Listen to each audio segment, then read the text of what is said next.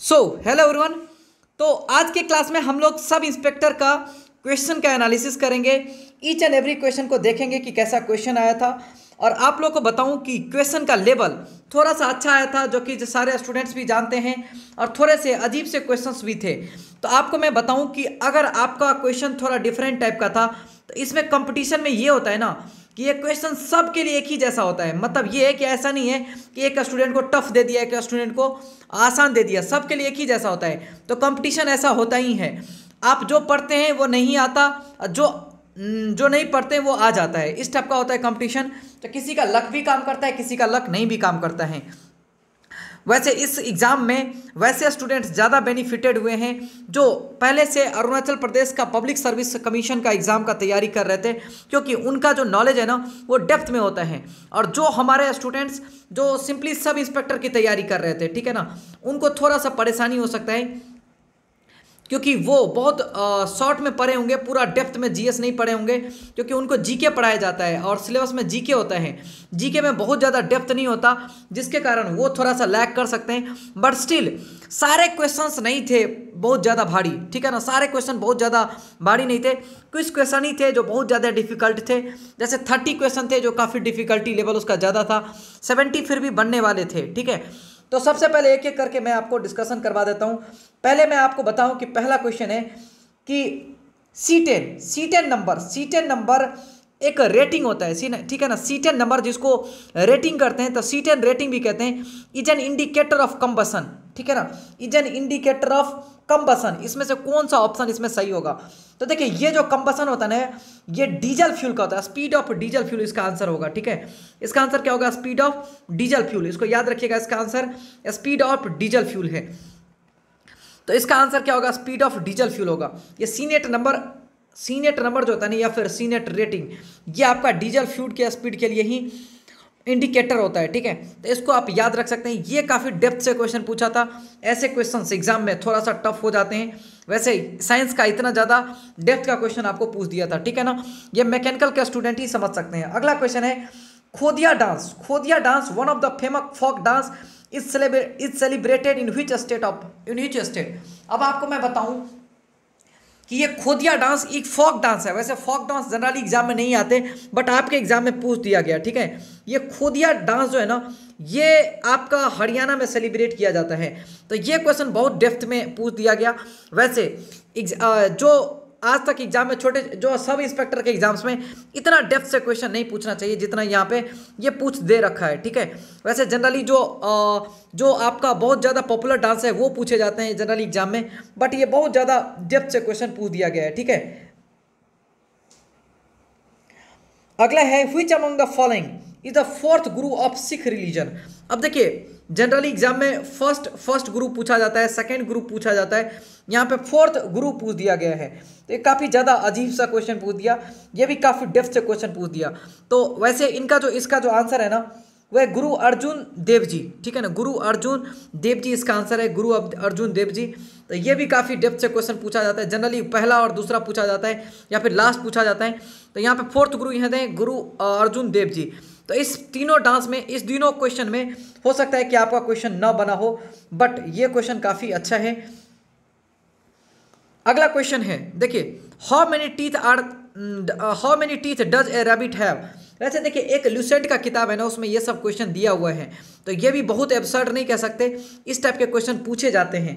तो रैबिट के पास 28 टीथ होता है और भी मैंने शेयर कर दिया है आपको पेज पे तो वहाँ पे आप देख सकते हैं कि किसके लिए कितना आ, कितना किस आ, किस एनिमल्स में कितने ज़्यादा वो होते हैं टीथ होते हैं तो टीथ वाला क्वेश्चन थोड़ा पॉपुलर होता है बट ऐसे क्वेश्चंस तो जनरली देखने को नहीं मिलते बट कभी कभी ऐसे क्वेश्चंस आ जाते हैं।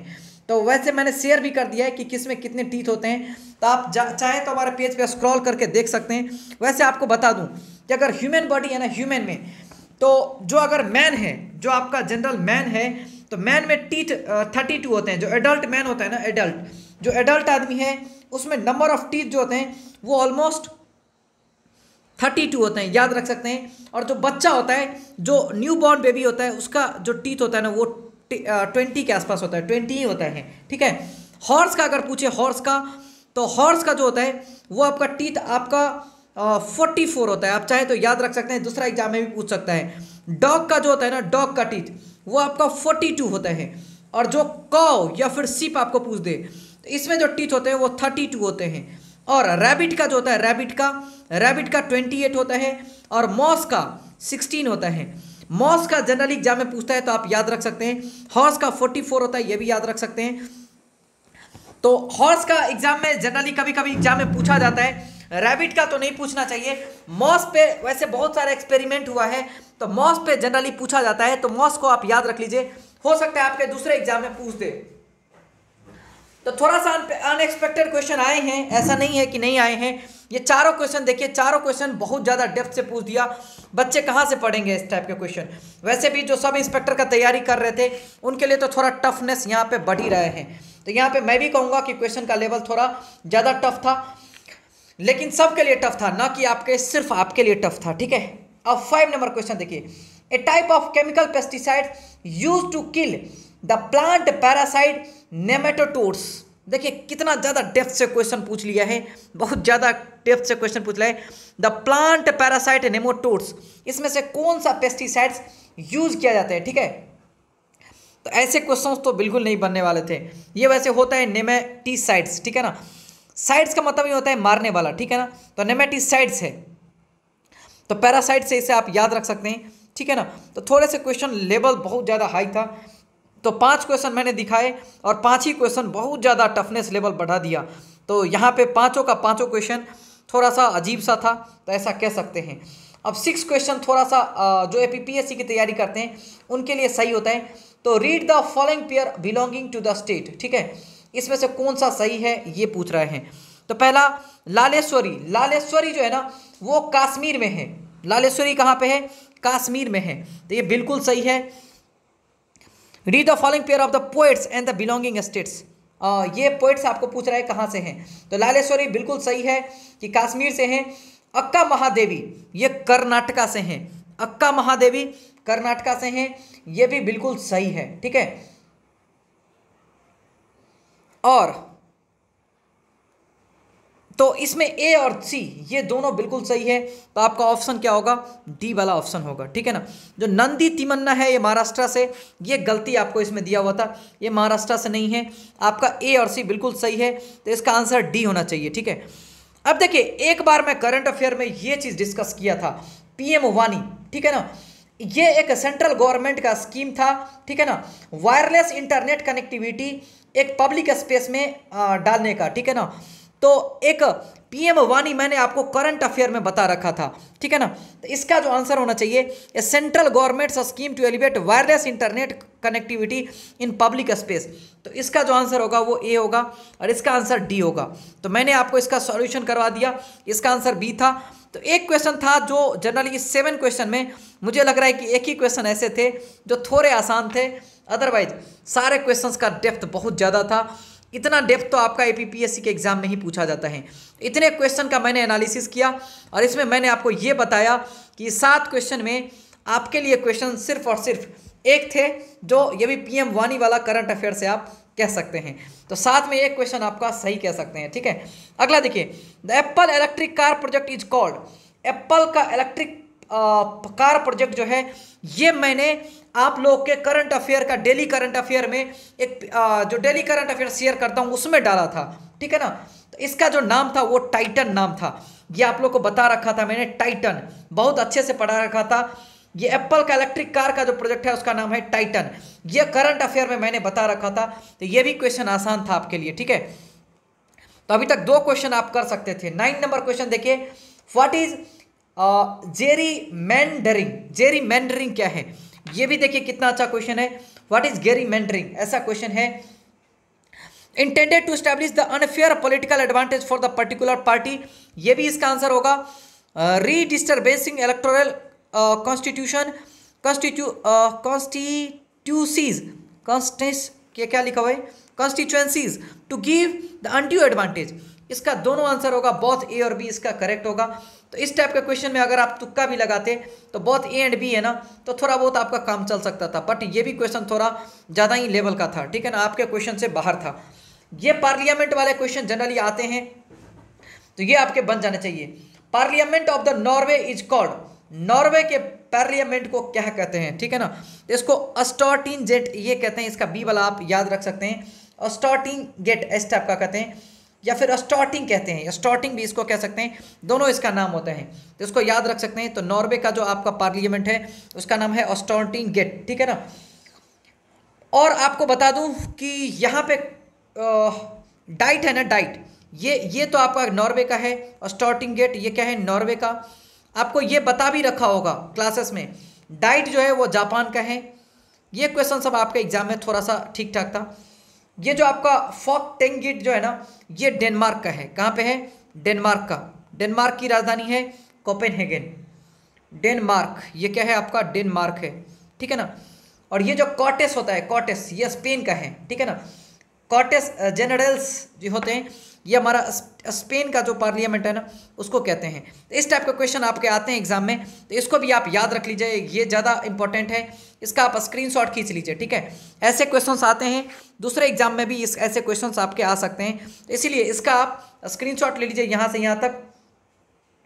ऐसे क्वेश्चन आपके एग्ज़ाम में दोबारा आ सकता है, ठीक है?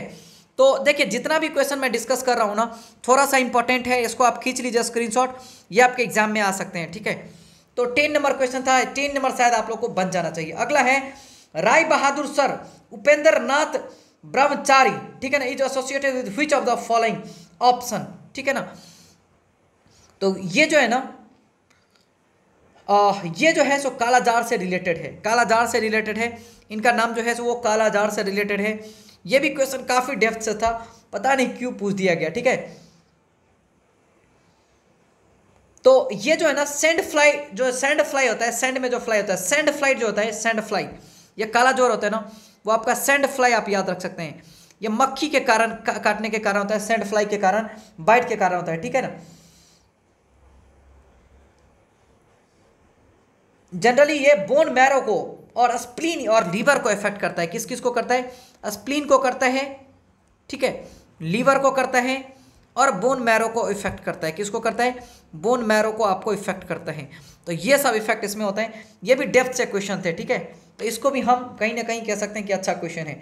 अगला the instrument use for mechanical recording और reproduction of sound is known as इसमें से रिप्रोडक्शन ऑफ़ साउंड का या फिर मैकेनिकल रिकॉर्डिंग करने के लिए इसमें कौन सा इंस्ट्रूमेंट यूज़ हो रहा है? इसको हम कहते हैं फोनोग्राफ इसको क्या कहते हैं? फोनोग्राफ कहते हैं। तो आपका डी वाला ऑप्शन है फोनोग्राफ तो इसमें आप लगा सकते हैं डी वाला क्वेश्चन ऑप्शन तो ये क्वेश्चन भी ऐसे क्वेश्चन एब्सर्ड हैं, ऐसे क्वेश्चन एपीपीएससी में भी बहुत कम आते हैं।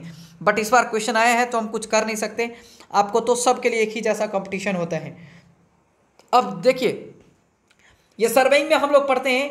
ये तो थियोडोलाइट होता है ना। इसमें हॉरिजेंटल और वर्टिकल एंगल आपका हॉरिजेंटल हॉरिजोंटल या फिर वर्टिकल एंगल वर्टिकल यहाँ पे मैं ठीक से लिख दूँ वर्टिकल एंगल हॉरिजेंटल या फिर वर्टिकल एंगल मेजर करते हैं। सर्वेइंग को स्टूडेंट पढ़ रहे होंगे तो यहाँ पे वर्टिकल वर्टिकल एंगल को मेजर करते हैं। कभी उसमें एंगल को मेजर करते हैं तो इसके लिए ये हम यूज़ करते हैं थियोडोलाइट ये जो टेकोमीटर है ना टेकोमीटर वो आपका जो टेकोमीटर है ना वो साफ्ट का स्पीड साफ्ट का स्पीड को मेजर करने के लिए यूज़ करते हैं ठीक है? एक है स्फेरोमीटर क्या है अगला? स्फेरोमीटर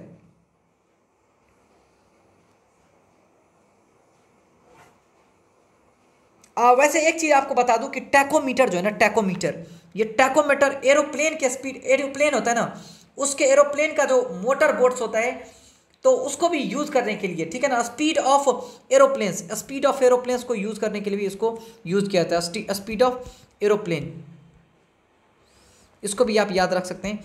और ये पोनोग्राफ जो है ना फोनोग्राफ ये इंस्ट्रूमेंट यूज़ होता है मैकेनिकल रिकॉर्डिंग के लिए, ठीक है ना? या फिर रिप्रोडक्शन ऑफ़ साउंड के लिए यूज़ होता है। तो ये भी क्वेश्चन काफ़ी डेप्थ से पूछा था। अच्छे क्वेश्चन थे, मैं कुछ कर नहीं सकता। अगला क्वेश्चन देखिए। Read the following pair carefully care इसमें से आपको केयरफुली को पढ़ना है, ठीक है? तो पहला है, पहला जो हिंदुस्तान शिप यार्ड लिमिटेड ये आपको विशाखापत्तनम में है और ये विशाखापत्तनम विशाखापत्तनम जो है, वो आंध्र प्रदेश में है, ठीक है ना? तो बिल्कुल ए वाला बिल्कुल सही है। अगला, मेजगांव डॉक मेजगांव डॉक गोवा में नहीं है, ये मुंबई में है। कहाँ में है? ये मुंबई में है। मैं ये मुंबई में है। देखिए जनरली फैक्ट और फिगर वाले क्वेश्चन आते हैं। कैसा कैसा क्वेश्चन डेप्थ से पूछ रहा है, यहाँ पर देखिए। अगला गार्डन रिच सिप बिल्डर्स ये वेस्ट बंगाल में है। ये बॉम्बे में लिख दिया है। ये गार्डन रिच सिप बिल्डर्स जो है ना, ये आपका वेस्ट बंगाल में है। वेस्ट बंगाल में है। न कि आपका, न कि आपका सॉरी ये आपका वेस्ट बंगाल में है, न कि आपका ये बॉम्बे में है। इसलिए मेरे हिसाब से इसका जो आंसर होना चाहिए, वो एग्जैक्टली सी होना चाहिए। ओनली सी इज़ करेक्ट ठीक है ना? तो इसका आंसर क्या होगा? ओनली ए इज़ करेक्ट ठीक है ना? तो ऐसे मैंने बता दिया। अब क्वेश्चन नंबर फोर्टीन देखिए क्या कर रहे हैं। क्वेश्चन नंबर फोर्टीन भी अच्छा है। व्हाट इज़ मीन्ट बाई ठीक है ना? सिटरिस पैरिबस ठीक है ना? सिटरिस पाइबस ठीक है? तो इसका मतलब जो होता है अदर थिंग्स बींग इक्वल इसका जो मतलब होता है अदर थिंग्स बींग इक्वल तो कितना डेप्थ से क्वेश्चन है, पता ही नहीं चल रहा. अदर थिंग्स बींग इक्वल तो ऐसे क्वेश्चन इसके आंसर हैं. तो इसका जिसने आप बी मारे हैं, वो बिल्कुल सही है, ठीक है? फिफ्टीन नंबर क्वेश्चन देखते हैं, क्या है? The Kalibangan ancient site of Indus valley civilization is found in India state तो ये क्वेश्चन तो आपको आना चाहिए बिल्कुल आना चाहिए। अगर ये क्वेश्चन को छोड़ के आ रहे हैं तो फिर तो मुश्किल है क्वालिफाई करना। कालीबंगम बिल्कुल राजस्थान वाला पार्ट में है ठीक है ना? तो इसको ये तो क्वेश्चन बनने चाहिए आपको। तो ये बहुत डेप्थ से नहीं था बहुत आसान क्वेश्चन है फैक्ट और फिगर वाला क्वेश्चन है। ये प्री हरप्पन प्री हरप्पन ठीक है ना? प्री हरप हरप्पा कल्चर वाला ये चीज़ें हैं ये आपको याद आना चाहिए ठीक है ना? वैसे आ, ये जो आपका काली बंगन है ना काली काली बंगम इसका मतलब होता है, काली बंगम का मतलब होता है ब्लैक बेंगल्स क्या होता है इसका मतलब? ब्लैक बेंगल्स ब्लैक बेंगल्स इसका मतलब होता है कभी कभी एग्ज़ाम में ये भी पूछ लेता है, इसीलिए इसको आप याद रख सकते हैं, ठीक है? चलिए अब अगला क्वेश्चन मैं बताता हूँ। अगला क्वेश्चन है, Pusan. The god of ancient India is linked with which of the following Pusan है तो याद रखिएगा, ये जो पुसान है ना ये मैरिज से भी रिलेटेड है फॉर जर जर्नीज से भी रिलेटेड है फॉर मीटिंग से भी रिलेटेड है। तो इसका आंसर मेरे हिसाब से ऑल ऑफ़ दीज होना चाहिए। क्या होना चाहिए? ऑल ऑफ़ दीज होना चाहिए। अब अगला क्वेश्चन सेवनटीन देखिए। How many gems extraordinary people को कहते हैं? चंद्रमुक्ता चंद्रगुप्त टू के कोर्ट में कितने एक्स्ट्रा ऑर्डिनरी पीपल थे? मतलब जेम्स थे, ठीक है ना? कितने जेम्स थे? चंद्रगुप्त टू के कोर्ट में। तो ये भी क्वेश्चन थोड़ा अच्छा है हिस्ट्री से रिलेटेड है। तो इसको याद रखिए टोटल जो थे, वो उसको कहते हैं नवरत्ना भी कहते हैं। क्या कहते हैं? नवरत्ना। जेम को कहते हैं नवरत्न, नवरत्ना। ठीक है ना? तो टोटल जेम्स जो है ना, वो नाइन थे। कितने थे टोटल जेम्स वो नाइन थे। तो इसका आंसर कितना होगा? ये नाइन होने वाला है। ठीक है ना? तो कितने जेम्स थे? नाइन थे। इसको याद रखिएगा। तो नंबर ऑफ़ जेम्स मतलब एक्स्ट्रा ऑर्डिनरी पीपल बहुत अच्छे लोग मतलब पढ़े लिखे लोग। ठीक है ना? तो याद रखिएगा, उसमें उसका अगर आप मुझे नाम पूछेंगे तो कुछ का मुझे नाम याद है, जैसे एक कालीदास थे तो कालीदास चंद्रगुप्त के मौर्य के ही में थे। कालीदास, कुछ कालीदास की कहानी याद होगा शुरू शुरू में वो बहुत ज़्यादा लोग कहते हैं कि मूर्ख थे, लेकिन बाद में इन्होंने काली माता की आराधना करी और काली माता से काफ़ी ज़्यादा उनकी भक्ति होती थी। तो उनको मानते थे ये तो ऐसा कहा जाता था कि काफ़ी ये मूर्ख थे, जिस पेड़ पे वो बैठे हुए थे, उसी पेड़ को एक दिन काट रहे थे और उसी पे गिर जाते। तो अचानक किसी ने उनको बचा लिया, ठीक है ना? इसके बाद वो कालिदास का काफ़ी अच्छे भक्त थे। तो एक दिन बहुत ज़्यादा फ्लड था तो काली जी के मंदिर में उसी फ्लड में आराधना करने चले गए, उसमें दीप जलाने चले गए। तो उस पर खुश होकर के उन्होंने कहा कि एक रात में जितना आपको पढ़ना है, पढ़ लो, उस रात में जितना पढ़ोगे सब कुछ आपको याद हो जाएगा। उन्होंने एक रात में ही पूरा का पूरा पढ़ाई लिखाई कर लिया और बहुत बड़े विद्वान बन गए। तो वही नवरत्न आप कालिदास इसको मान सकते हैं। तो ऐसा कालीदास ऐसे स्टोरी करके याद रखेगा तो आपको याद हो जाएगा, ठीक है ना? वैसे आपको आप ऐसे करके याद रखिए, मैंने स्टोरी सुना दिया है जिससे कि आपको याद हो जाए, ठीक है? एक था वर एक था वरहम हीरा, एक नाम था वरहम हीरा, चाहे तो याद रख सकते हैं। एक बेताल भट्टा बेताल भट्टा याद रख सकते हैं, बेताल भट्टा भी इनका नाम था, बेताल भट्टा। कभी कभी एग्ज़ाम में आ जाता है तो ऐसा भी हम याद करते हैं। एक धानवत्री उनका नाम है, एक है अमर सिम्हा ठीक है? अमर सिम्हा अगला है शंकु नाम था, कहार कहर पना का नाम था, हरिसेना था नाम, हरिसेना। ठीक है ना? हरिसेना। हरिसेना, आप नाम और भी सुने होंगे। तो जम्मू कश्मीर वाले हरि सिंह से आप हरिसेना को रिलेट कर लीजिए थोड़ा सा तो याद हो जाएगा। ठीक है ना? वो भी हिस्ट्री की बात है। तो कहीं ना कहीं ये सब नाइन जेम्स थे, जो मैंने, जो इंपॉर्टेंट जेम्स थे, उसका नाम लिख दिया और सबका मैंने बता दिया है। तो ये सब क्वेश्चन हिस्ट्री से आए थे। तो ये तो क्वेश्चन अक्सर आते रहते हैं कि चंद्रगुप्त के कोर्ट में कितने ज़्यादा, कितने अच्छे एक्स्ट्रा कितने ज़्यादा एक्स्ट्रा ऑर्डिनरी पीपल थे। तो ये क्वेश्चन आपका नाइन आता है। तो ये क्वेश्चन थोड़ा सा आसान था। ये आपको बन जाना चाहिए। तो चलिए हम आगे क्वेश्चन पे मूव ऑन करते हैं। कौन सा क्वेश्चन है? अगला क्वेश्चन देखिए। एटीन नंबर क्वेश्चन क्या पूछ रहे हैं? ठीक है? एटीन नंबर क्वेश्चन पूछ रहा है। द चाइनीज़ ट्रेवलर ह्यूंग सांग ये क्वेश्चन तो आना चाहिए। चाइनी Chinese traveller Hiuen Tsang travel to India during the reign of which of the following king ये तो बहुत आसान क्वेश्चन है। कोई भी क्वेश्चन कोई भी आदमी हिस्ट्री पढ़ाएगा तो ये क्वेश्चन आपको पढ़ाएगा ही। तो ये जो है ना हर्षबंधन हर्षवर्धन के टाइम में आए थे। तो इसको आपको याद रखना है। ये क्वेश्चन तो आप लोग को बनना ही चाहिए। तो यहाँ पे आप हर्षवर्धन लगा सकते हैं, ठीक है? एटीन नंबर क्वेश्चन आसान था। मतलब फिफ्टीन सिक्सटीन सेवनटीन एटीन ये हिस्ट्री से क्वेश्चन थे। ये क्वेश्चन आसान थे तो ये आपको बन जाना चाहिए, ठीक है? याद रखिएगा, ये जो हुइंग सांग है ना, उनको प्रिंसेस एमंग द ट्रेवलर कहा जाता है। प्रिंसेस एमंग ट्रेवलर ठीक है ना? उन्होंने एक बुक लिखा था सी या की ठीक है ना? जिसका मतलब होता है माई एक्सपीरियंसेस ठीक है ना? Records of the western world ठीक है ना? It is also called records of the western world ऐसे ऐसे कहा जाता है तो उसको आप याद रख सकते हैं। एटीन नंबर क्वेश्चन मैंने डिस्कस कर दिया। अब नाइनटीन नंबर क्वेश्चन देखिए क्या है। नाइनटीन नंबर क्वेश्चन है रीड द फॉलोइंग इसमें से आपको रीड आपको करना है। इसमें आपका कौन सा आंसर होगा वो बताना है, ठीक है? तो इसका जो ऐसे आंसर है, वो आपका बी नंबर ऑप्शन है। बी नंबर क्वेश्चन है एक मिनट रुक जाइए। इसका आंसर जो है, वो क्या होगा, वो मैं बता देता हूँ। इसका क्वेश्चन है कि रीड द फॉलोइंग तो इसमें से कह रहा है प्रतिहारा डायनेस्टी ये आपका नॉर्दर्न इंडिया से था। प्रतिहारा डायनेस्टी ये बिल्कुल सही टिक लगा हुआ है। प्रतिहारा डायनेस्टी का है? नॉर्दर्न इंडिया का है। बिल्कुल सही है। ठीक है ना? तो इसको आप याद रख सकते हैं। तो आ, पाला एम्पायर ये गलत है। चालुक्य डायनेस्टी वेस्टर्न इंडिया था? ये भी गलती है। पाला एम्पायर साउथ इंडिया था? ये भी गलती है। तो इसका डी ऑप्शन हो जाएगा। Only option A is correct. ठीक है ना? तो इसको आप याद रख सकते हैं। ओके? अब अगला क्वेश्चन देखिए। अगला है, the ancient Raja Rani temple is situated in which place? ये जो राजा रानी टेंपल है ना, ये भी आसान है। बहुत सारे स्टूडेंट अगर टेंपल सब पे ध्यान देते हैं, देखिए डिफरेंट डिफरेंट टेंपल पे भी आपको ध्यान देना है। ये राजा रानी टेंपल जो है ना, ये उड़ीसा के भुवनेश्वर के शहर में है, ठीक है ना? उड़ीसा का ये कैपिटल सिटी है, भुवनेश्वर तो यहीं पे है। राजा रानी टेंपल राजा रानी टेंपल कहाँ पे उड़ीसा के भुवनेश्वर शहर में है। तो इसमें आप क्वेश्चन अगर देखा जाए तो नाइनटीन भी थोड़ा आसानी था, ट्वेंटी भी आसानी है तो ये दोनों आप बना सके तो बना सकते थे, ये बहुत कठिन नहीं है। लेकिन फिर भी एग्ज़ाम के अनुसार तो ये कठिन है। आपका एसआई का एग्ज़ाम बहुत ज़्यादा टफ नहीं होना चाहिए, बट यहाँ पे टफनेस का लेवल थोड़ा सा ज़्यादा दिया है। यहाँ पे अगर मैथ्स का भी एग्ज़ाम ले लेता तो ठीक था, क्योंकि बहुत सारे स्टूडेंट जो मैथ में अच्छे हैं और जो जीएस बहुत अच्छा नहीं पढ़े हैं, उनको थोड़ा सा परेशानी होता है। तो मेरे हिसाब से तो क्वेश्चन का लेवल बहुत ज़्यादा अच्छा नहीं हो पाता अगर जब तक मैथ्स भी इसको डालना चाहिए मेरे हिसाब से। अगर मैथ्स देता है ना, तब तो ठीक होता है मामला। तो चलिए आगे देखते हैं क्या है। अगला क्वेश्चन देखिए, अगला क्वेश्चन है कि फ्रॉनक्वाइसिस बर्नियर, ठीक है ना? François Bernier, a French physician traveller, came to India during the, during यूनिच dynasty. ये तो बहुत ही अजीब क्वेश्चन है। ये तो मुझे नहीं लगता कि आप लोग बना पाए होंगे। बहुत सारे स्टूडेंट नहीं बना पाए होंगे। जो ए का क्वेश्चन तैयारी कर रहे हैं वो शायद बना भी पाए होंगे। ठीक है ना? तो ट्वेंटी वन नंबर जो है ना ये जो है ना वो आपका इसामी ये सामी जो है ना सामी इसी के टाइम में आए थे। ठीक है ना? आ, एक मिनट चाहिए सॉरी क्वेश्चन है। ये कौन से डायनेस्टी में आए थे? इनका ये पूछ रहे हैं। ठीक है ना? तो ये फ्रांसिस बर्नियर जो है वो मुगल डायनेस्टी में आए थे ठीक है ना? ये औरंगज़ेब के टाइम में आए थे सेवनटीन सेंचुरी में। तो इसको आप याद रख सकते हैं मुगल डायनेस्टी। ये भी काफ़ी अच्छे लेवल का क्वेश्चन है। काफ़ी ज़्यादा अजीब क्वेश्चन है ठीक है ना?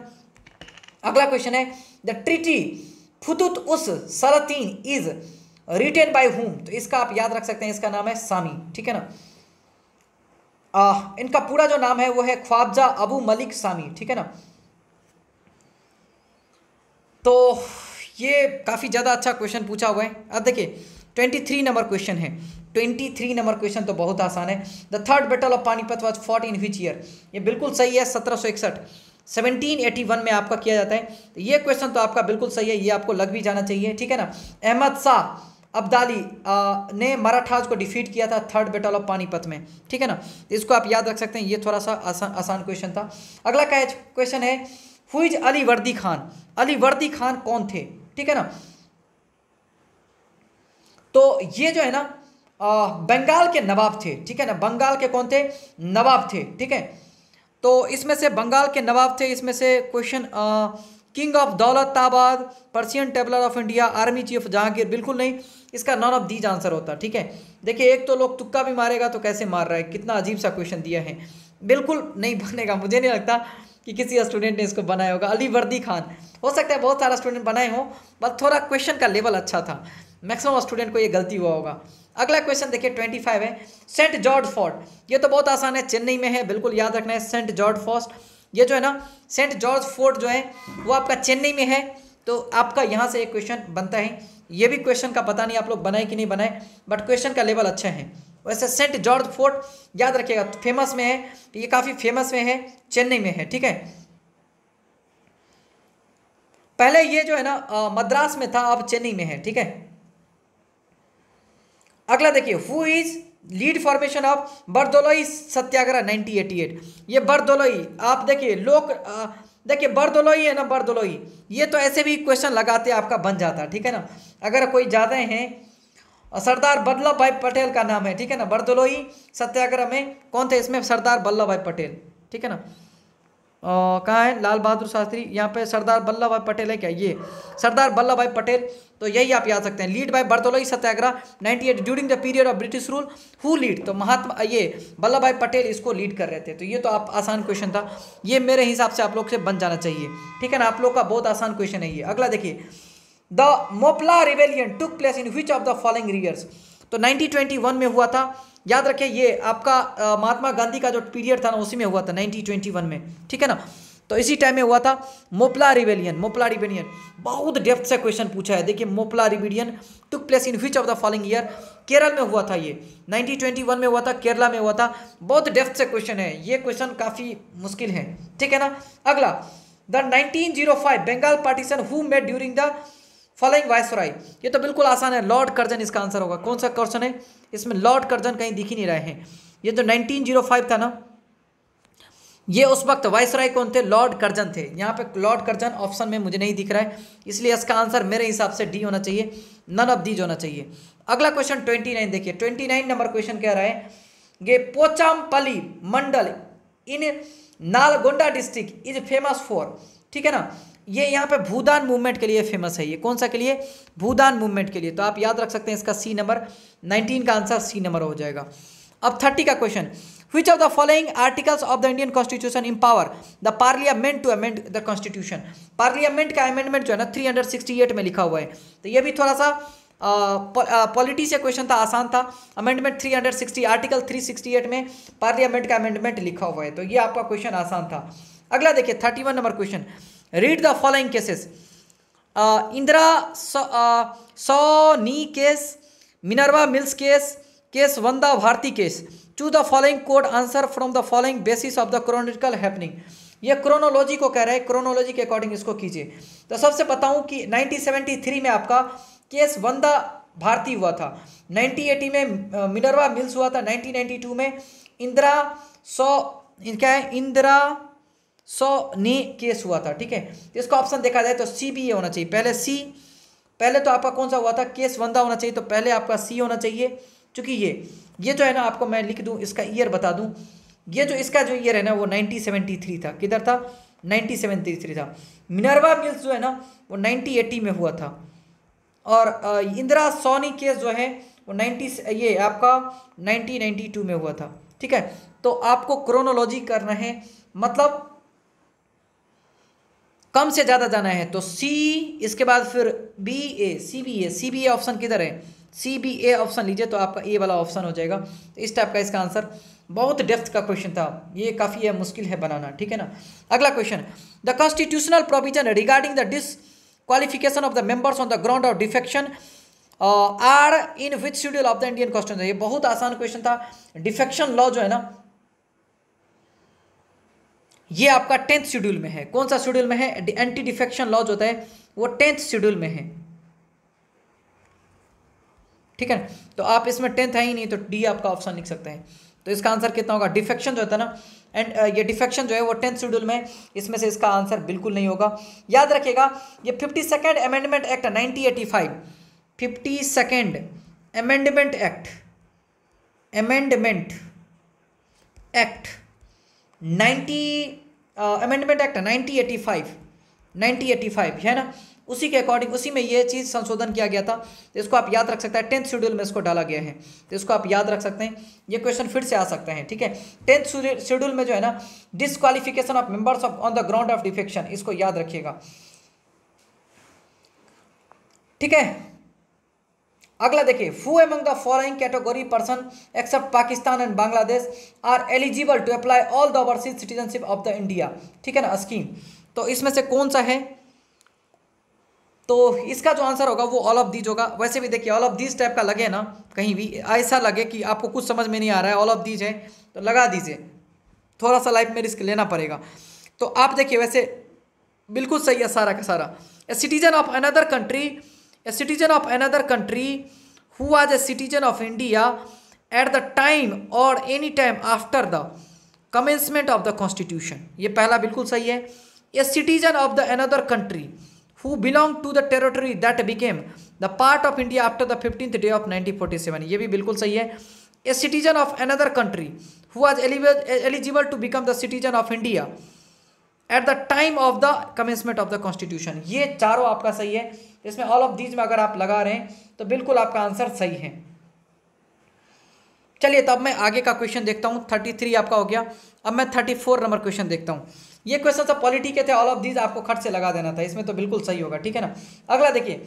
Haryana Haryana was carved from Punjab Haryana Punjab से काफ किया गया था 1966 में। ये थोड़ा अजीब सा क्वेश्चन था वैसे। आसाम अरुणाचल, ये सब के बारे में पूछना था। इधर आपका हरियाणा के बारे में पूछ रहा है। तो कोई बात नहीं, चलिए। ये याद रखिएगा, ये सेवेंटी सेवनटीन स्टेट बना था, जब हरियाणा को पंजाब से काव आउट किया गया था, ठीक है ना? अगला Indian constitution declare the modality for a free compulsory education to all the children in which of the following age group six to fourteen age group में है। इसको याद रखिएगा, ये पॉलिटी का क्वेश्चन है अच्छा क्वेश्चन है। Six to fourteen age group के लिए ये एजुकेशन फॉर ऑल कंपलसरी कर दिया था, ठीक है ना? Which of the following is अच्छा ये क्वेश्चन थोड़ा अच्छा है। Which of the following is a writ as per as Indian constitution ये सारा का सारा आपका रिट ही है, सारा का सारा आपका रिट है। बिल्कुल याद रख लीजिए रिट है सारा। एक होता है कोरा वारंटो भी रिट है, ठीक है ना? ये आपका वारंट टाइप का है, ठीक है ना? लिटरल सेंस में इसका मीनिंग है बाय व्हाट ऑथोरिटी किस ऑथोरिटी पे आप कुछ कर रहे हैं? ठीक है ना? इसको कहते हैं कोरा वारंटो अगर अगला है मेंडमस, ठीक है ना? इसका मतलब है वी कमांड। मेंडमस का मतलब होता है वी कमांड। एक होता है कॉफस ठीक है ना? To have the body of मतलब आदमी को वहाँ पे प्रेजेंट होना है। तो इस तीनों का मतलब होता है, ये चारों, ये तीनों रीड्स हैं। टोटल फाइव रीड्स हैं बट यहाँ पे तीन लिखा है। ऑल ऑफ़ दीज यहाँ पे लगा देना था। कहीं भी ऑल ऑफ़ दीज होता है तो आंसर जनरली वही होता है। Who among the following is the chairman of the official language commission in 1955 B K Kher था। आप इसको याद रख सकते हैं। थोड़ा सा बहुत डेप्थ का क्वेश्चन था। ये हो सकता है आपसे ना बना हो। ठीक है ना? देखिए, बहुत सारे क्वेश्चन आसान थे बट स्टिल बहुत सारे क्वेश्चन काफ़ी ज़्यादा अजीब से पूछे गए हैं। ठीक है ना? इसका तो गूगल करने से भी आपको आंसर नहीं मिलते रहेंगे। गूगल भी करेंगे तो बहुत सारा क्वेश्चन का आंसर नहीं मिलेगा। इस टाइप का क्वेश्चन पूछ दिया है। अगला which constitution amendment conferred Delhi with a special status re redesignated it as NCT of Delhi sixty ninth amendment है, इसमें याद रखिएगा। Sixty ninth amendment NCT Delhi से सिक्सटी नाइन्थ अमेंडमेंट में हुआ था। इसको आप याद रख सकते हैं। अगला क्वेश्चन है। Which of the following is the which of the following is the brightest star ये तो कितनी बार आपको मैं बता चुका हूँ। ठीक है ना? जिसको हम डॉग स्टार भी कहते हैं या फिर सीरियस भी कहते हैं। तो इसका आंसर डॉग स्टार भी कहते हैं सीरियस ए भी कहते हैं द ब्राइटेस्ट स्टार होता है। तो इसका आंसर होना चाहिए सीरियस तो ये आंसर इसका ये होगा। ये आपको पढ़ा दिया गया था ठीक है? Name the person who is not connected with astronomy astronomy से देखिए हबल टेलीस्कोप तो आप याद ही रख सकते हैं। केपलर भी मून पे काम किया था ये भी याद रख सकते हैं। आ, तो आ, ये आपका क्लॉडियस प्लोटेमी ये भी आपका बिल्कुल सही है। तो इसका मतलब तीन विच इज़ नॉट कनेक्टेड सारे के सारे कनेक्टेड है. नॉन ऑफ़ दीज इसका आंसर होगा. केपलर्स जो है केपलर्स लॉ होता है मून पे, ये आपका ऑर्बिट्स के रिगार्डिंग आपका केपलर्स लॉ गिवन है. तो टाइम और टाइम टाइम और रेडियस में रिलेशन गिवन है. ये केपलर्स लॉ तो आपको मैं हेबल का टेलीस्कोप है तो उससे भी याद रख सकते हैं. तो इसका नॉन ऑफ़ दीज तो आपका आंसर लग जाना चाहिए, ठीक है ना? तो इसका आंसर नॉन ऑफ़ दीज होगा. अगला है व्हाट इज़ चंद्रशेखर लिमिट ठीक है ना? तो चंद्रशेखर लिमिट जो है ना, अगला है चंद्रशेखर लिमिट, ये है related study of mass of the stars study of the mass of the stars stars की कितना मास होता है, उसी का स्टडी को हम कहते हैं क्या? चंद्रशेखर लिमिट. उसी से हम रिप्रेजेंट करते हैं, ठीक है? अगला अगला क्वेश्चन देखिए. What is meant by international date line क्या है? What is meant by international date line अगला क्वेश्चन है inter date international date line का मतलब क्या है? ठीक है? इसका मतलब होता है कि it passes through the mid Pacific ocean ये एक मिड पैसिफिक ओशियन से पास करता है, याद रखिएगा इंटरनेशनल डेट लाइन कहाँ से? मिड पैसिफिक ओशियन से। The international date line has been established most of it following one eighteen meridian, ठीक है ना? Where by common agreement, whereas cross it. एक मिनट रुक जाइए। तो इसको आप सिंपली लिख सकते हैं कि ये मिड पैसिफिक ओशियन से क्या करता है? It passes through mid Pacific ocean. ऐसे याद रख सकते हैं। ये क्वेश्चन भी थोड़ा अजीब सा था। तो आप चाहें तो इसको भी लगा सकते हैं। फोर्टी थ्री नंबर क्वेश्चन देखिए। लस्त ए लत डिजर्ट। लस्त ए, दस्त ए लत डिजर्ट। ये आपका ईरान में है तो इसको आप याद रख सकते हैं। ये थोड़ा सा करंट अफेयर के न्यूज़ में था, इसीलिए क्वेश्चन थोड़ा सा यहाँ पे आ गया है। What is heat budget heat but heat budget क्या है? ठीक है? तो balance of incoming and outgoing heat on earth ये इसी को हम कहते हैं हीट बजट ठीक है? तो आप इसको क्वेश्चन इसको कुछ क्वेश्चन को आप कह सकते हैं। The heat heat budget the balance of incoming and outgoing of the heat on the earth इसी को हम कहते हैं हीट बजट तो आप ऐसे करके इस फोर्टी फोर का आंसर सी लगा सकते हैं। अगला देखिए which of the following is the highest point of the Nicobar island ये तो आपको कितना बार बता दिया चुका है। माउंट थुलियर है इसका हाइएस्ट पॉइंट माउंट थुलियर ठीक है ना? मोट थुलियर इसका आंसर डी वाला पार्ट हो जाएगा। तो ये क्वेश्चन है।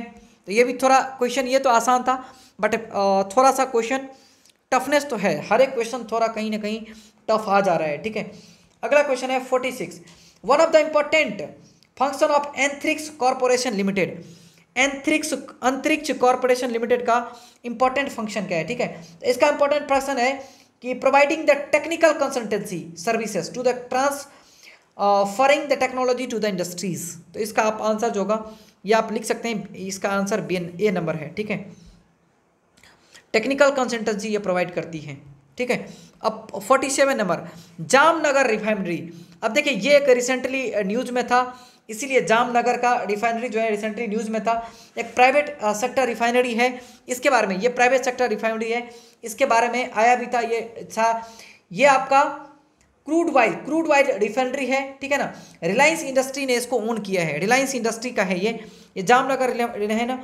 रिलायंस इंडस्ट्री याद रखिएगा रिलायंस इंडस्ट्री इसके द्वारा ओन्ड है तो ये थोड़ा न्यूज़ में था, इसलिए यहाँ से क्वेश्चन आ गया है, ठीक है? अगला the alumina factory is located at which of the following place in India तो ये जो एल्यूमिना जो है ना, ये उड़ीसा में उड़ीसा में दमन जोड़ी में है। दमन जोड़ी में ये आपका उड़ीसा में है, याद रखिएगा, यहाँ पे आपका एल्यूमिना रिफाइनरी है, ठीक है?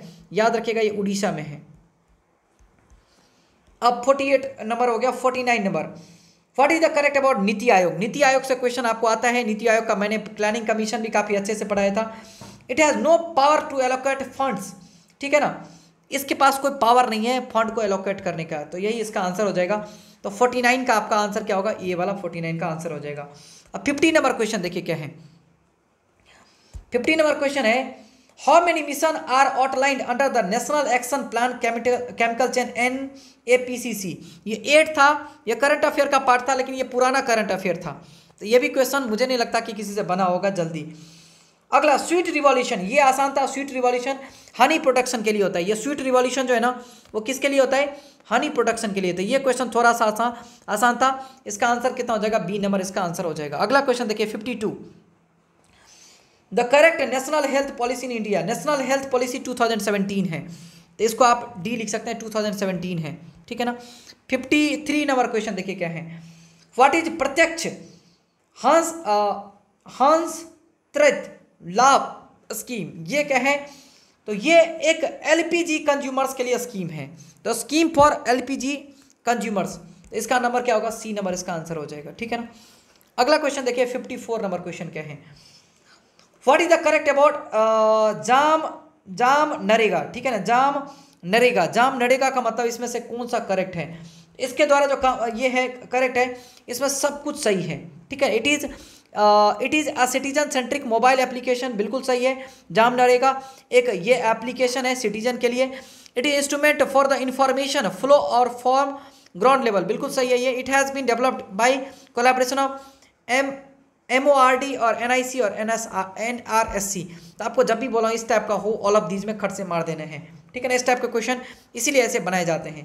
Fifty five number at which place Rajnath Singh inaugurated first hypersonic wind tunnel ठीक है ना? या हैदराबाद में किए थे हाइपरसोनिक विंड टनल ये आपका करंट अफेयर का पार्ट था। तो ये तो बहुत सारे न्यूज़ में आते ही रहते हैं। मैं भी आपको शेयर करता रहता हूँ। तो ये आपका ये क्वेश्चन हो जाएगा। अगला in which in which plant of Apple co dot in India the violence erupted during the December 2020 तो ये विस्टर्न प्लांट नियर बेंगलोर था।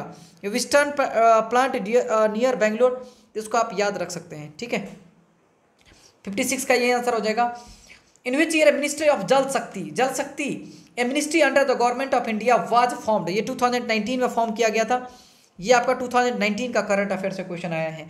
कौन पढ़ता है 2019 का करंट अफेयर फिर भी आ गया है। Which country announce to withdraw the international whaling commission I W C ये जापान ने उसको विड्रॉ कर लिया है। इस क्वेश्चन को आप याद रख सकते हैं। ए वाला आपका इसका आंसर हो जाएगा। Which of the following dates is celebrated as a national handloom day national handloom day seventh अगस्त को मनाया जाता है। ये आपको करंट अफेयर में डाल दिया गया था, ठीक है? अगला क्वेश्चन देखिए। The Guwahati tea auction centre G T A T created another international history by selling one K G golden butterfly tea at the whipping of seventy five thousand during the ninety nine is produce by which of the following tea estates ये Dikom T estates था। डीकॉम tea estate था। तो इसका D number answer हो जाएगा। बहुत depth में question पूछा है। लगता ही नहीं है कि क्वेश्चन बहुत ज़्यादा अजीब सा क्वेश्चन पूछा है, ठीक है? यह क्वेश्चन आसान है कि रिवर लिंकिंग प्रोजेक्ट इसमें से कौन है? केन बेतवा प्रोजेक्ट बहुत आसान क्वेश्चन है। ये तो आपको बन ही जाना चाहिए, ठीक है? Which are the following countries first river interlinking project ये केन बेतवा प्रोजेक्ट था। केन बेतवा प्रोजेक्ट प्रोजेक्ट जो है sign between Madhya Pradesh and Uttar Pradesh government ये केन बेतवा प्रोजेक्ट जो है ना, ये याद रखिएगा एमपी और यूपी के द्वारा ये साइन किया गया है। केन बेतवा प्रोडक्ट प्रोजेक्ट ये क्वेश्चन फिर से आ सकता है कहीं ना कहीं एग्ज़ाम में तो इसको याद रखिएगा। सिक्सटी टू नंबर देखिए क्या है। सिक्सटी टू नंबर है Gotiprolu the recent excavation made by archaeological survey of India is in in is in which state ये आंध्र प्रदेश में है बिल्कुल याद रखिएगा कहाँ पे है ये? आंध्र प्रदेश में तो इसका बी नंबर आप याद रख सकते हैं ठीक है? अगला क्वेश्चन देखिए sixty three cabinet has given uh, in principal approval for the major port in which of the following places? February uh, 2020 फरवरी 2020 में जो अप्रूवल दिया था ये आपका था वनदावन वनदावन वनदावन पोर्ट का जो है ना, ये अप्रूवल दे दिया गया था। तो इसका आंसर कितना होगा? ये नंबर इसका आंसर हो जाएगा, ठीक है? अगला क्वेश्चन देखिए क्या है। Mukhyamantri Aanchal Amrit Yojana is launch by which of the following state during the March 2099 ये उत्तराखंड के द्वारा लॉन्च किया गया था। तो इसमें आप उत्तराखंड आंसर लगा सकते हैं। तो ये क्वेश्चन थोड़ा सा बहुत ज़्यादा टफ था। ये ट्वेंटी टू का करंट अफेयर पूछ रहा है। दीक्षा दगर is associated with which of the following sports golf से है रिलेटेड दीक्षा दगर ठीक है ना? ये कहाँ से? गोल्फ से रिलेटेड है। ये भी क्वेश्चन थोड़ा अजीब सा था। अगला क्वेश्चन देखिए। Wipro limited San sign MOU with the following IIT research area of 5G and A I two thousand nineteen का करंट अफेयर पूछ रहा है। आईआईटी खड़गपुर से था। तो आप चाहें तो उसको याद रख सकते हैं। 2019 का बहुत सारा क्वेश्चन पूछ रहे हैं। नहीं पूछना चाहिए। 19 2021 का पूछना चाहिए। How many members states are there in European Union after withdrawal of Britain during January 2020 ये 28 था, लेकिन how many members states are there इतना after withdrawal of Britain during that January 2020 अब ये 27 हो गया है तो इसको आप याद रख सकते हैं। तो ये था इसका आंसर 27 तो इसमें आपको 27 में क्वेश्चन लगाना था। 68 नंबर देखिए।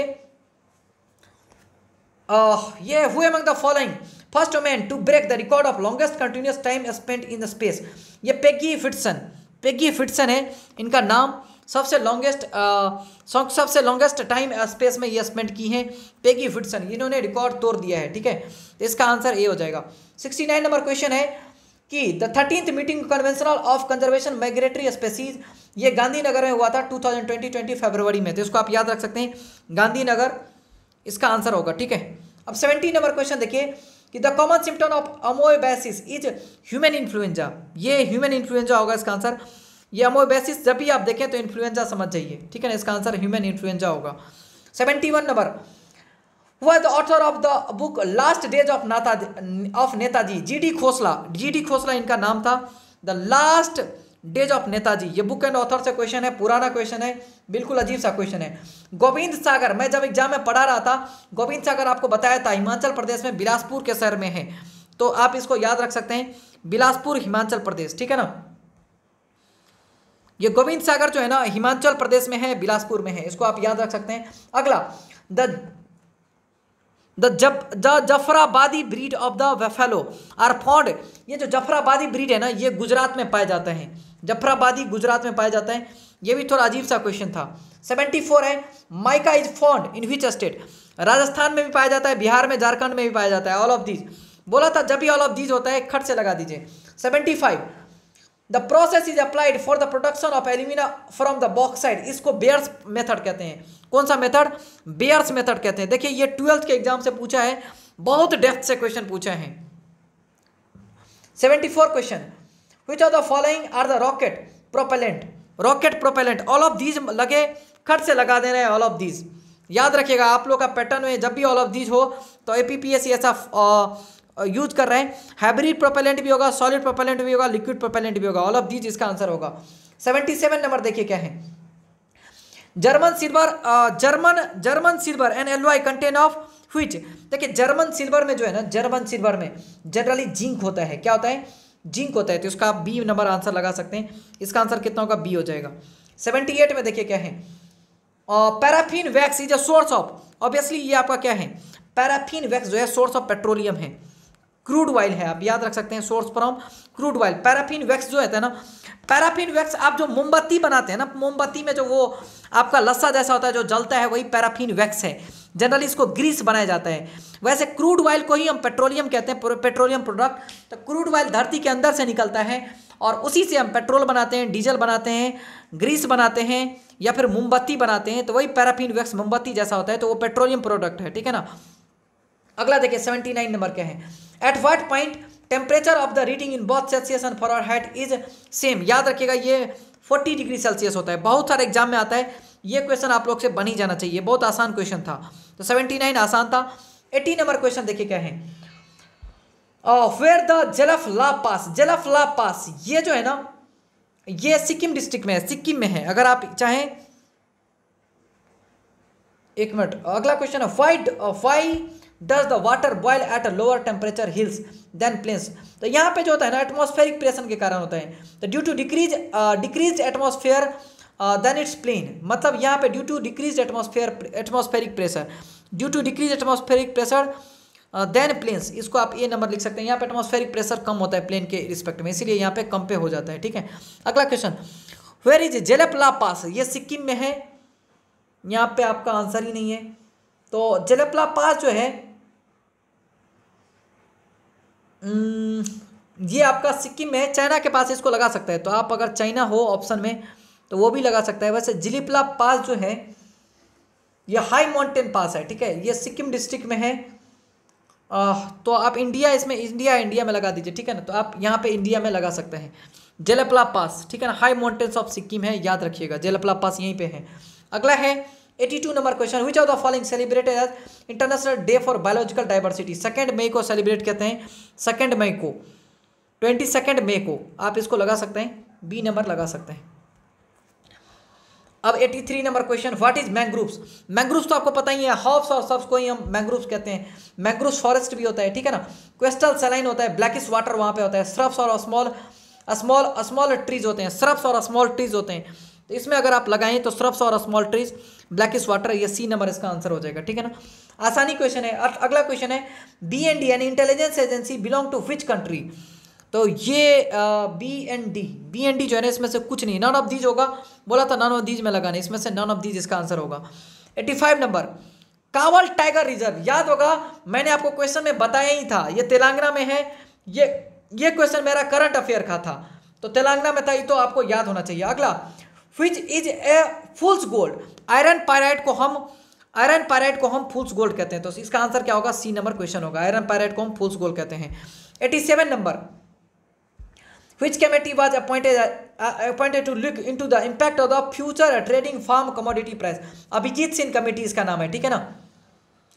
उर्जित उर्जित अभिजीत सिंह इसका आंसर जो होगा अभिजीत सेन कमेटी अभिजीत सेन कमेटी इसको आप याद रख सकते हैं। अभिजीत सेन कमेटी इसका नाम है एटी एट नंबर क्वेश्चन है कि which of the following is unit of measurement for optical fiber of the lens देखिए ऑप्टिकल फाइबर को हम अडाप्टर में मेजर करते हैं तो इसका आंसर क्या होगा? डी तो ये काफ़ी आसान क्वेश्चन था। ये फिजिक्स का क्वेश्चन था। अगला है एटी नाइन नंबर क्वेश्चन कि doctor Anil Kakodkar committee was concert was constituted for which purpose है? ये रेलवे के सेफ्टी के लिए पर्पज के लिए इसको किया था। डेप्थ का क्वेश्चन था। क्वेश्चन आसान नहीं थे टफ थे ये, ठीक है ना? अगला क्वेश्चन नाइनटीन नंबर है। Which of the following is the international airport international pair Coimbatore way international है, राजा सास सासी भी एयरपोर्ट है, वाराणसी एयरपोर्ट है। सारा का सारा इंटरनेशनल एयरपोर्ट है। बोला था ऑल ऑफ़ दीज और नन ऑफ़ दीज आए तो खट से लगा देने यही सब जनरली आंसर होता है। एक दो गलती भी हो जाएगा तो चलेगा। अगर नहीं समझ में आता है तो खट से लगा दीजिए। The famous grassland of the world pusztas in which city ये जो पुस्ताज है ना, पुस्ताज, ये आपका हंगरी में है। याद रखिएगा क्वेश्चन कहाँ पे ये? हंगरी में पुस्ताज नाम का जो आपका ग्रासलैंड है वो आपका हंगरी में है। जैसे आपका कुछ कुछ मैं बता दूँ कि आ, ऐसे क्वेश्चन आपके एग्ज़ाम में आते हैं कुछ कुछ मैं बता दूँ और भी ग्रासलैंड का नाम। जैसे एक है प्रेरिस प्रेरिस आपका नॉर्थ अमेरिका का है। पंपास जो है अर्जेंटीना का है। ठीक है ना? डॉन्स ऑस्ट्रेलिया का है। डॉन्स जो है ना डॉन्स ये डॉन्स ऑस्ट्रेलिया का है। कैंटेबरी ये न्यूजीलैंड का है। कैंटेबरी ग्रास जो है ना वो न्यूजीलैंड का है। स्टेप्स यूरेशिया का है रसिया का है। तो कभी कभी ये सब एग्ज़ाम में आ जाता है। Black David Hanson associated with which field music से रिलेटेड थे। ब्लैक डेविड हैंसन जो है ना ये म्यूज़िक से रिलेटेड थे। तो वैसे ये क्वेश्चन तो हंगरी वाला ये सब भी डेफ्थ से पूछा जाए। देखिए अगला 93 नंबर क्वेश्चन कितना बार आ, हम डिस्कस कर चुके हैं Pulitzer prize Pulitzer prize awarded in which of the following country ये जो है ना यूएसए में अवार्ड किया जाता है प्लिटजर प्राइज ठीक है ना? तो 89 नंबर क्वेश्चन हो गया। 94 नंबर 93 हो गया 94 number who is the author of book Narendra Modi the man the times ये था निरंजन मुखोपाध्याय। निरंजन मुखोपाध्याय। डी नंबर इसका आंसर है। ठीक है? डी नंबर इसका आंसर है। अगला which of the following volcanic island is located in Andaman and Nicobar ठीक है ना? इसका नाम था नार्कोडम इसका नाम क्या है? नार्कोडम आप लगा सकते हैं इसमें नार्कोडम ये आसान क्वेश्चन है। ये जनरली ये होता है। वैसे इसका जो आंसर है वो एन एस एस ओ और सी एस ओ इसका आंसर ए नंबर है तो अगर आप चाहें तो इसको याद रख सकते हैं। The government of India has approve the merger of the which of the two pairing of central organization NSSO और सीएसओ ये स्टेटिकल ऑर्गेनाइजेशन है एनएसएसओ ये दोनों मर्ज हो चुके हैं तो ये चाहें तो आप याद रख सकते हैं। 97 number question. When the president of the republic of the india resigned from the office, to whom the resignation letter is provided? तो ये वाइस प्रेसिडेंट जो है, वो किसको देगा? ऑब्वियसली वाइस प्रेसिडेंट को देगा, ठीक है ना? तो ये सी नंबर क्वेश्चन होगा, इसका आंसर होगा। तो इसका आंसर क्या होगा? सी नंबर इसका क्वेश्चन हो जाएगा 97 का। 98 number ring of fire ring of fire नाम से ही पता चलता है रिंग ऑफ़ फायर क्या है?